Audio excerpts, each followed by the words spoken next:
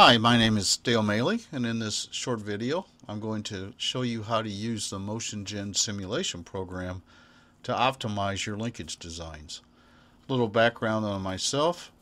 I like designing and building hand-cranked marble machines and a few weeks ago I discovered a free simulation program called MotionGen.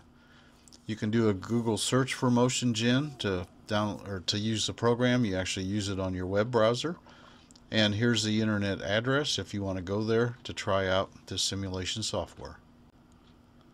Now in the past, I've often used the SketchUp free drafting program, doing kind of a trial and error approach to optimize linkage designs until I get one that works. But a few days ago as I was learning about the Motion Gen program, I discovered a very neat way to optimize the linkage. And in this program, when you change something, the resultant motion path is changed simultaneously. So you can use this feature to very quickly learn the sensitivity of a design and then quickly find the optimum design for your application. Once I learned about this very neat feature in the MotionGen program, I decided to make a short video to help people learn a neat way to quickly optimize a linkage design. The example we'll be using is one of my marble escapement mechanisms I recently built. Now here's my SketchUp design of part of my marble machine. In particular, this is the loading mechanism where I have a blue piston on the left which moves up and down and then when it comes down it actually hits the red beam which in turn raises the kind of bluish link and raises the red swinging arm. And it, mainly I need to release just one marble per stroke of the piston. If I didn't have this mechanism, multiple marbles would either load or they'd fall out. So I need to re release just one for every stroke of the piston. Now I've zoomed in on SketchUp so you get a, a closer view of this marble loading mechanism, sometimes called an escapement mechanism because it's letting one marble escape at a time. But anyway, there's the blue piston that comes down, contacts the red kind of rocking beam there, and then uh, it's only about a quarter inch travel on the actual model. When the red beam is pushed down, that pushes that bluish green link up, which raises the orange swinging arm to clear the one inch high marbles. And then when the blue piston moves up, that swinging arm comes down and it keeps any of the other marbles from escaping. So I need that orange arm to lift just a little more than an inch to clear the marbles. So next, let's actually go into the program and I'll show you what I mean about a very quick way to optimize uh, design linkage. Okay, here we are in the Motion Gen program. I have the marble escapement linkage drawn up and this is the design that I ended up actually building a model and it works. But if we remember from the example, the swinging arm here, it pivots on the right hand side then on the left hand side, that's to represent the tip where the comes down and separates the marbles. And we need to have uh, a stroke of uh, just over an inch because the marbles are one inch in height. So we need about an inch. And then if you remember, I'm using a piston, a blue piston that's coming down and it pushes on the, the green element. That in turn raises the blue link and raises the swinging arm. Well, to simulate that, I'm using a linear actuator shown in red here to do that. So let's just run the model so we remember how it works. So each time the actuator, linear actuator comes down, which simulates the blue piston coming down, that actually lifts the arm up uh, about an inch. Each grid on there is an inch. So that gives you an idea how it works. Now the really neat thing that I discovered kind of by accident the paths of the points, the pivot points or joints, are shown in red here, the little curves. So here's the tip moving down about an inch. There's a little curve up here where the blue uh, vertical link meets up with the swinging arm. There's another little red path down here. This is kind of a balance beam or rocking beam. Over here it's grounded over here and it only moves a short distance. So the thing we're really interested in this particular design is the stroke over here of the arm. So let's go up and grab this point up here of the blue link and let's move it. And note that while we move it, the red path of the tip is going to change.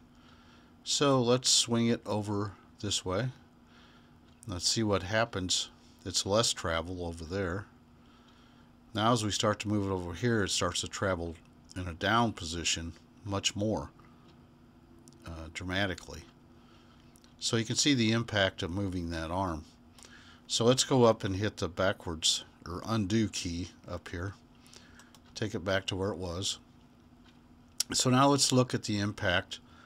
What is uh, changing the point down here where the blue link hits the green? What does that do? Okay. if we make it longer, doesn't do much. If we make it uh, longer in a horizontal direction, it increases the stroke of that arm both directions, as you can see here. If we bring it over closer to the pivot point of the beam, it gets very, very small. Okay, let's undo that. So we saw the impact of that. Okay. Now this balance beam, that ought to be a sensitive uh, pivot point right here, the green. And we're essentially using that as a lever and we're magnifying the action of the red actuator hitting the green beam. So we would expect if we move this to the right, we're going to see less stroke. So let's do that. And indeed we do. We see less stroke. If we move it to the left, we're going to see more stroke, probably dramatic impact. Yes, it's a big impact on that, on that side. So that's a key member here to, to optimize the design. And let's undo that one. The last thing to look at here would be the linear actuator. Now, if we move the um, fixed ground point on this, let's see what happens. We'll move it up. And we get a big impact of the arm swingy further downwards on that. It doesn't go up, though. And what if we're really concerned about getting that inch of travel up of the arm? This doesn't help at all. This goes in the wrong direction. So let's undo that. Now the only way I found to change uh, changes was to change the stroke. So if we click on that linear actuator, that we see the stroke is about a quarter inch, it's 0.263. What happens if we increase that up to say 0.5? Half an inch. Let's go from a quarter inch to half an inch travel. Let's watch the red um, stroke of the tip when we hit enter. Bingo! That's extremely sensitive to stroke. We can get that arm to lift, uh, oh, two and a half inches instead of just an inch by just changing the stroke amount. So we can see, let's uh, undo that. So in this design, the key elements in terms of getting that tip to move are the uh, pivot point of the fulcrum beam and then the stroke of the actuator. So if I was first designing this, I could very quickly figure out, hey, what's the best design for my marble escapement mechanism? It's a very neat tool that it moves the uh, travel, the red curves, more or less simultaneously as you move the link, link joints around, or you change the stroke of the actuator. So some closing thoughts on this video. The Motion Gen simulation program, I'm finding it relatively easy to learn how to use it. The learning curve is not too bad. And this feature of changing the motion path as you adjust the key parameters is really an efficient way to optimize the design. And this feature is not in another, I, have used another simulation program, a free program called linkage.exe. Unfortunately, in that program, uh, does not change the path automatically you make a change then you have to run the program again to see the impact on the travel of the joint. So this is really a nice feature that's built into Motion Gen. So in summary, this video explains how to use the Motion Gen simulation software to optimize a linkage. You can see my many other YouTube videos that I have many different marble machines and the associated mechanisms or linkages that go with them.